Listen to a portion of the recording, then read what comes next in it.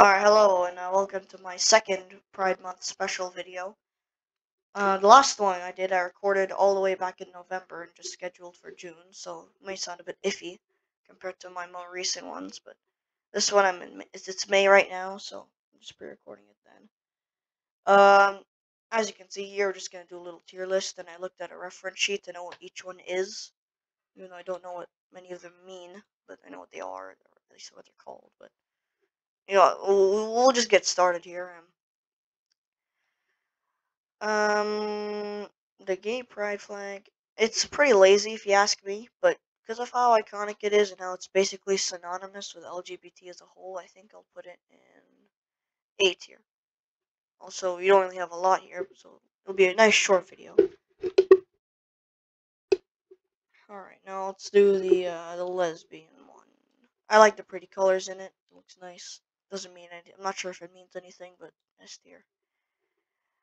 Um, the this is like probably one of my favorites because it actually does mean something. If you look at the stripes, you can see man to woman and woman to man. It, it's nice. So that's getting an S tier. Also, it's super iconic. I mean, like, can't think of pride flag without thinking of this guy or girl or I don't, I don't know, man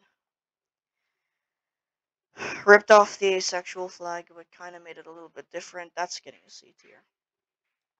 Oh, this one, this one looks nice. I mean, it's sort of, uh, I mean, the colors are an odd choice, but they, they look pretty neat, so I'll put it in S.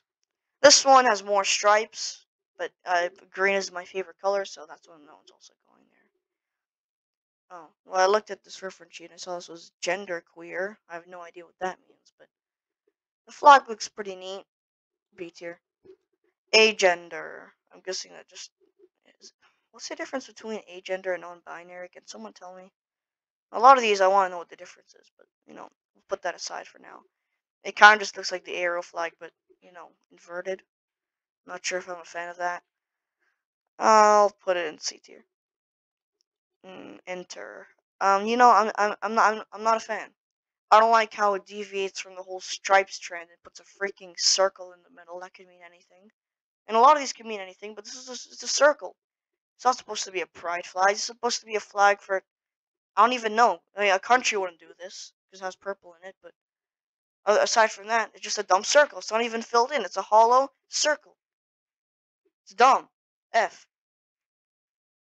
Demi boy and demi girl. These look like some sort of, uh, some sort of like, I don't even know to say, but they look fine. Again, it sort of looks like the trans flag. No, if anything, it looks like the agender flag, but not even that. No, it looks most, if you ask me, like uh, the, either the aromantic flag or the agender flag. Either one of those. They both look fine. Put them in B. No, This, this just looks like if you pixelated a transformer and zoomed in. I don't like it. This is the uh, demisexual, demi-romantic isn't here, but you know, it would get the same rating of F. Oh, what's this one? Let's look at the reference sheet. Is it even in the reference sheet? What are you? Um, nope, nope. That doesn't look like it. Wait. I'm, I'm stumped.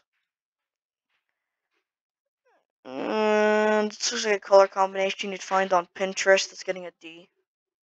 Bi! I mean, like, I like the thin stripe in the middle. It's, it's fine. It gets an A. And you. Let's hope I can find you on the reference sheet. And that's just my dog. He's uh, next to me right here. Uh, oh, this is gender fluid. Gender flexible. It looks fine. It's getting a D. And that's my tier list. So, I mean, I, if, if you notice, to put the iconic ones, you know, more on the top. But I think, I think they just look nice. So, because of that. But yeah, this is it. And uh, in, no way am I disrespecting any of the orientations shown here. If you're if you if you're at the bottom, your flag is dumb, not you. So I just wanted to clear that up. And um, aside from that, bye.